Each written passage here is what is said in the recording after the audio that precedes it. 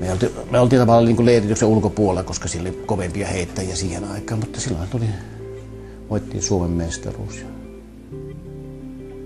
Siinä päästiin sitten niin kuin, ikään kuin kansainväliselle huipulle siinä. Ja ja hyvin äkkiä sen jälkeen myös oppi senkin, että tuota, ymmärtämään sen asian, että ei Suomen mestaruus ole mikään saavutus loppuun lopuksi, vaan Suomen mestaruudella lunastetaan lupa kilpailu ulkomaan kisoissa.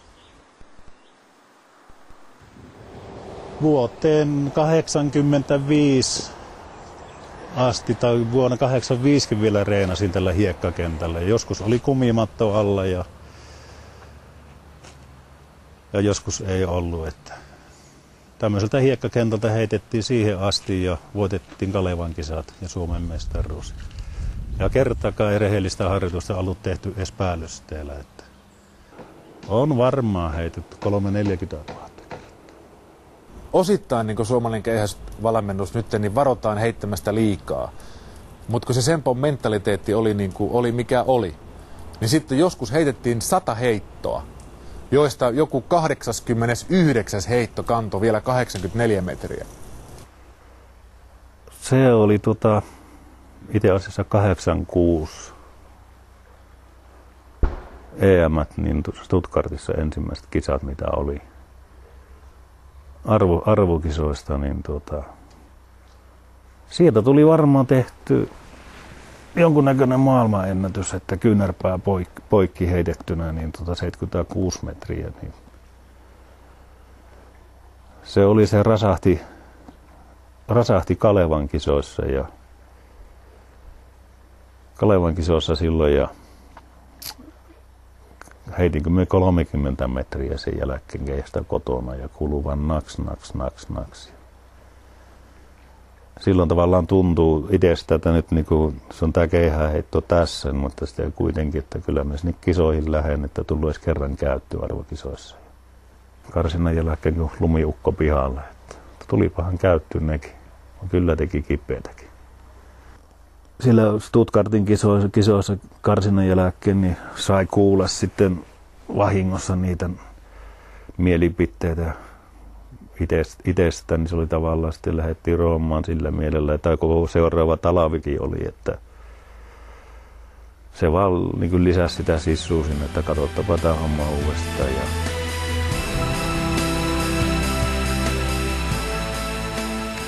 ja sitten urheiluun. Seppo Räty on voittanut maailmanmestaruuden keihäänheitossa Rooman yleisurheilun maailmanmestaruuskisoissa. Itse asiassa minä olin ihan varma, että tuota, minä voitan sen kisan. Minä olin ihan kotona jo varma siitä. Ja se oli oikeastaan ainut kerta sitten ensimmäinen tai toinen kerta, että isäukko vei lentokentälle sitten autolla Joensuuhun ja oltiin siinä noin puolessa välissä yhdessä risteyksessä, niin siinä sitten tuota, isäukolle sanoin, sanoin, vähän muutin sitä, sanoin vaan, että tuota, piti sanoa, että minä voitan muuten tämän kilpailun, niin tuota, muutit sen sillä tavalla, että minä otan mitalin näistä kisoista.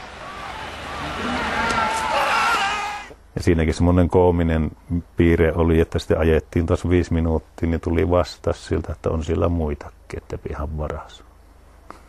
niin, se oli niin tyypillistä, että tavallaan puhuttiin sillä tavalla, että kun oli asia eikä muuta puhuttukaan. Voittotulos oli uusi Suomen ennätys 83-54. Räty paransi Suomen ennätystä kilpailun aikana kaksi kertaa. Toiseksi tullut Neuvostoliiton ja Jushok hävisi lähes metri.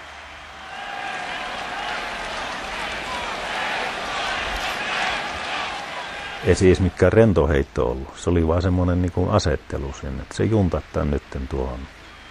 Se on niin kuin vasaralla olisi lyönyt naula. Ei siinä ole niin kuin, sanottu, että keihää heitto oppikirjasta, se ei käy se heitto ollenkaan. Palkintojen jako keihään heitosta ja epäilen, ettemme voi katkaista lähetystä. Helsingissä 27.4.1962 syntynyt, mittaa 188 senttiä ja 97 kiloa. Valmentaja Eino Maksimainen ja uusi Suomen ennätys. Premier et champion du monde, Seppo Finlandia. Tavallaan kun sitten palkinopallojen nousi siellä Roomassa, niin tavallaan oli niin kuin ihan äh, sanotaan takki tyhjä, että ei niin kuin miettinyt mitään. Ja sitten vaan rupesi naurattamaan, että näin helppo kuin tämä olikin. Ja sitten kyllä kaksi päivää sen jälkeen niin väsytti niin, siis ei ole ikinä väsyttänyt niin paljon, että se on varmaan se joku tietty lataus, mikä on tullut ja se älytön keskittyminen.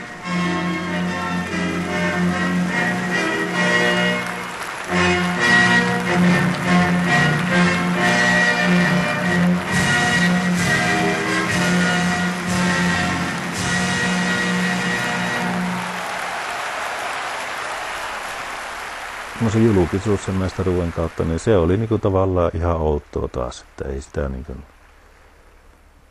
ei siihen tiennyt, miten siihen suhtautuu. Sitä se on tietysti alako kaikkia ylimääräisiä kommerverkkiä tulla, että puhelinnumero piti vaihtaa muutaman viikon välein ja lopulta lyödä se salaiseksi, kun ei sitä saanut yölläkään rauhaa, kun ne soi. Mutta tuota, toisaalta sitä vähän niin kuin silloinkin ihmetteli, että onko näin paljon tuttavia. tuttavia tuota. Ja varmaan se, totta kai se paikkakunnalle ensimmäinen mestaruus ja vielä sattuu keihäheitosta tulemaan, niin onhan se varmasti kaikille ollut jonkunnäköinen elämässä.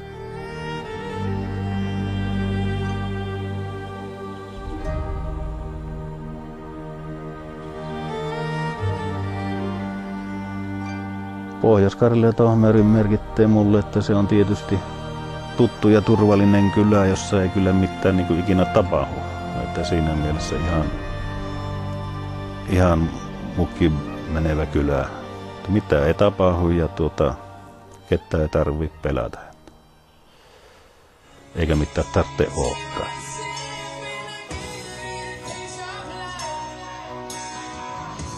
Jollakin pääkaupunkiseudulla tai missään muussakaan kaupungissa, niin eihän sitä tulisi yhtään mitään.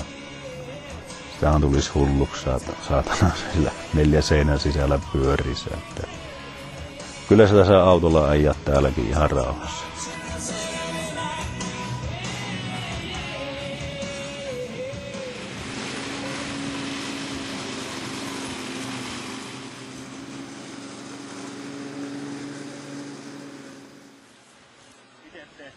Se perustyö silloin, joka on tehty nuorempana silloin ihan 5-16-vuotisena, sitä tehtiin valtaisat määrät, määrät niin tuota, se loi sen pohjan, pohjan, että periaatteessa 87, 86 lähtien, niin en koskaan päässyt oikeastaan reenaamaan ja parantamaan sitä kuntoa, vaan se talavi meni toipussa yleensä näistä kaikista leikkauksista, mitä tuli.